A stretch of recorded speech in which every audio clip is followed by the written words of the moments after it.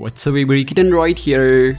So we are just less than 3 months away from the official unveiling of the Huawei's next powerhouse the Mate 40 Pro. That means leaks will keep on coming and today is no different. The latest leak finally shows us some information regarding the processor of the Mate 40 series. So as you know that Huawei was getting its chipsets from TSMC, which is one of the biggest chip maker. They manufacture chipsets for Apple and Qualcomm and if you don't know, TSMC recently confirmed that it has stopped taking orders from Huawei since May 15 in order to respect US ban, which is a massive loss to Huawei. But it seems Huawei found another solution for chipsets, so a well-known leakster claimed that the Mate 40 series with Kirin processors will be exclusive to China and Huawei will follow Samsung in terms of dual chip strategy due to the ban. So if you don't know, Samsung uses two types of chipsets, one is Exynos and other one is Snapdragon. And Huawei will do the same, they have 8 million of Kirin chipsets which they can use in the upcoming Huawei phones. And obviously 8 million is not a lot, that's why for global market, Huawei needs more chipsets and Huawei's only options are Samsung's Exynos chipsets and MediaTek processors. And chances are that it will go for the MediaTek processors. Yes, you heard me right.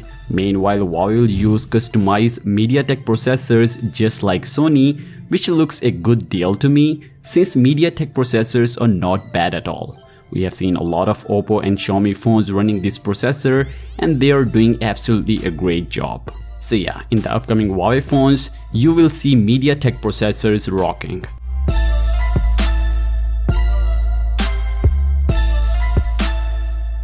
Well, BOE is one of the world's leading display maker, producing both LCDs and OLEDs. It also produces LCDs backlighting unit and solar panels. BOE has been producing small gloss based OLEDs for some time, but the company's main focus is currently in flexible and foldable OLEDs. And the best part is that, for the first time ever, BOE is supplying panels to Huawei for its upcoming Huawei's Mate 40 flagship series. They are supplying on-cell OLED panels that have the touch sensor embedded in the display itself, which is a great innovation though so that's why the display of the Mate 40 series will be amazing, since this gives the display better optical and mechanical properties, not to mention making them thinner and cheaper. However, there are challenges that needs to be solved, which is what is taking so long for display makers like BOE is to catch up. Recently we heard that Huawei will use really thin display layer in the Mate 40 series and it seems BOE will provide the display technology. Chances are that we will see an amazing display in the Mate 40 series as well. So yeah, what do you think about this amazing deal? Do let me know your thoughts on that in the comments down below. And that's it for today's video. If you like this video, consider subscribing.